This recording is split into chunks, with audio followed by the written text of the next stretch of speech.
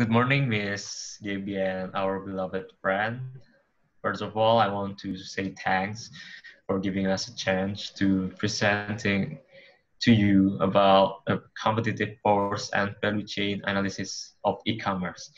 So as what I said before, uh, the team the team that had been that has been decided by us is about e-commerce. So my name is Vincent Setiady. My name is Julia Fendestito. My name is Putri Dania Sajida. My name is Gilbert Lus Jonathan. My name is Andika Surya Putra. And my name is Subianto Arya. So we are from team five and let's watch our presentation. So what is e-commerce? E-commerce is basically a business model that let firm and individual buy and sell their things over the internet.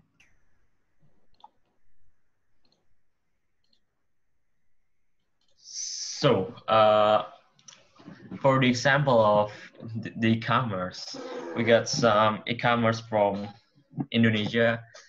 Uh, there's Shopee, Tokopedia, Lazada, or or another e-commerce. And from the interna international e-commerce, we have Amazon, eBay, Taobao from China, and many more. And uh, sometimes there is a specific e-commerce for a specific item like from Indonesia, we have Bhinneka. Bhinneka is like the e-commerce for computer spare parts. So you could find a computer spare part from Bhinneka with more competitive price. So let's talk about the Porter, the Porter 5 competitive force e-commerce in, Indo in Indonesia. So there are, five, there are four aspects that could be a determ determining factors that could determine our enterprise strength and weaknesses. So the first aspect is threat of substitute product. I could say high because the most common and well-known substitute product, or in this case, let's say the way to shop of the e-commerce is the offline store such as shop, market, or even supermarket. The substitute products or way to shop are a serious threat to e-commerce because this way to shop is got more trust than online shopping. There are a lot of online scams that have happened in Indonesia, which causes a loss of trust in online shopping, even through the e-commerce. And Indonesian always wants to do the culture of the bargaining in every transaction they make which is this is something that couldn't be done through e-commerce. So the second is supplier power. The supplier power is low because there are rules are set by the brand and supplier have to follow the code of conduct set by them.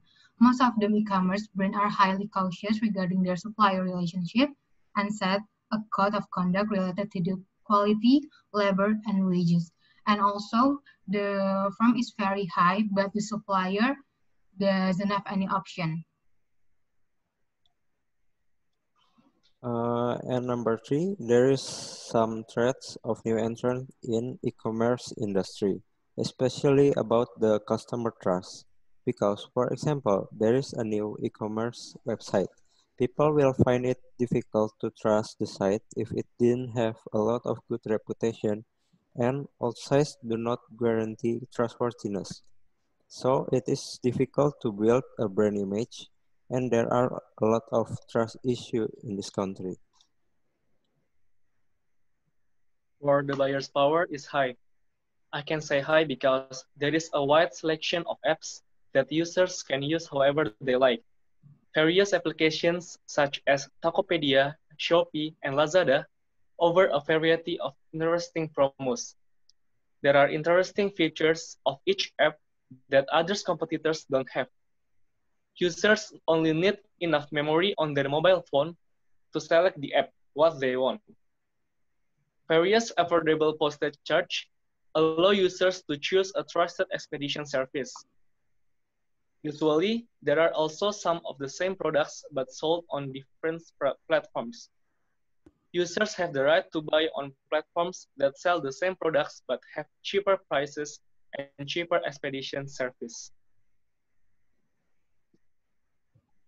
And for the rivalry among existing firms is high because of the large number of players in the market.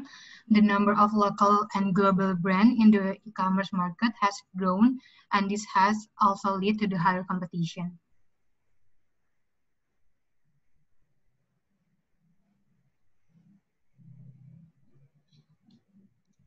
And for the value chain analysis, uh, the support activities are from infrastructure included general management, planning management, legal, finance, and accounting.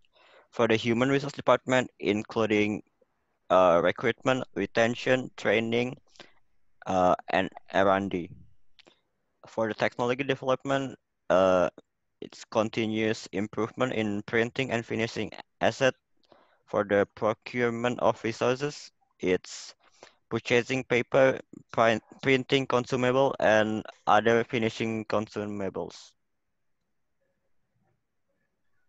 Uh, and in the primary activities, there are five. Uh, inbound logistic operations, outbound logistics, marketing and sales, and also services. Uh, in inbound logistics, there are receptionists, uh, storage, inventory control, and transportation planning. In the operations, uh, they got uh, people who work for printing and finishing. And for the outbound logistics, uh, they got workers from warehousing, order fulfillment, transport, transportation, and distribution. And from marketing and sales, uh, they got partnership and advertising and promotion. And from the service, uh, we we also know as customer support. And from these uh, primary activities and support activities, uh, we can make a competitive e-commerce. So uh, thank you, Miss uh, Gaby and friends, for watching our presentation.